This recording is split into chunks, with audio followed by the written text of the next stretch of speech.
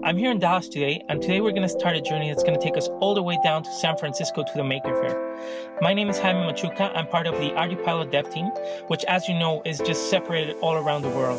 To make this demo happen, we have people working from Australia, from San Francisco, from everywhere in the world, and one of them is right now in San Antonio. So I'm going to drive down there to him. His name is Dan Pollock, and I'm going to start a collection of all the pieces for this demo. So let me know if you have any questions or anything specific you want to see, we can answer. So any questions about PixHawk 2, what it can do, how it can be connected, we're going to answer a lot of those questions during this series.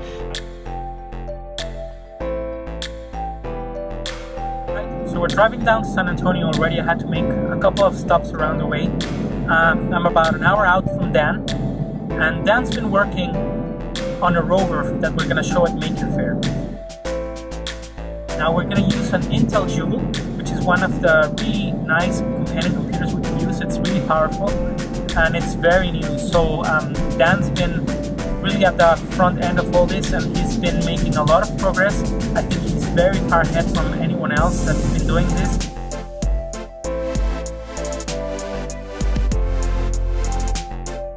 Alright, so we made it to Dan's and uh, now we got everything hooked up. We got the LAN going on the on the computer and we got the the Joule going with everything connected to it and here's Dan um, showing us what's what's going on there. Once we get this, we'll take this over to Denver now and we'll have to set out there on the real rover and have it work. We made it back to Dallas um, I was with Dan for a few hours. Um, he gave me all of the components that he had ready for the rover. Um, basically, what we're going to be using is um, this this little camera right here is called an Intel RealSense camera, and it's a 3D depth camera, so it can actually gather all the information around it and create a 3D map out of uh, of the images that it captures.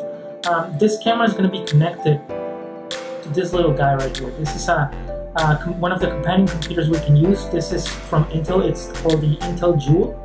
Um, it's a very powerful computer. Um, it can handle all of the SLAM things that we're going to be doing here, and uh, it's going to be connected via serial port to the to the PixHawk. Another component that we're going to be using is is this. This is the uh, a Pixy camera. Uh, it's going to be mounted on the copter and this camera is going to be used to track the rover. So we're going to have on the rover this little target right here, which is basically just a bunch of LEDs uh, that project, and the camera picks up the light from those LEDs, and the copter is going to start following the rover from that point on. Now the brains of everything is this little guy. This is a PixHawk 2. Um, the PixHawk 2 or the Cube um, is what we're going to be using for the autopilot on both the rover and the copter.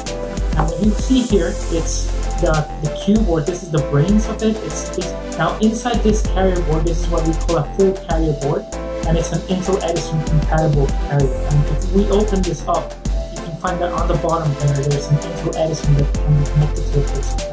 The Intel Edison is another small computer or companion computer.